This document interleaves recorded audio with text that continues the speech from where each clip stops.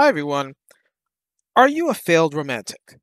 Have you been trying very hard to get a date and it's been difficult? Or you had your heart set on that one girl and she turned you down?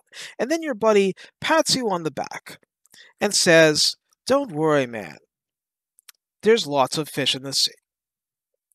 This is the sense in which people use this expression. They're saying that there's always more people out there to uh, find a romantic attachment to.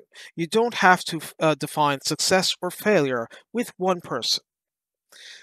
There are other options, there are other leads, and that's our proverbial fish in the sea. Lots of people out there, lots of options, lots of flavors. That's the philosophy. Now, it may not feel very refreshing to hear that if you are the one who has no date for the prom. But it's the philosophy that playboys use everywhere. There's lots of fish in the sea.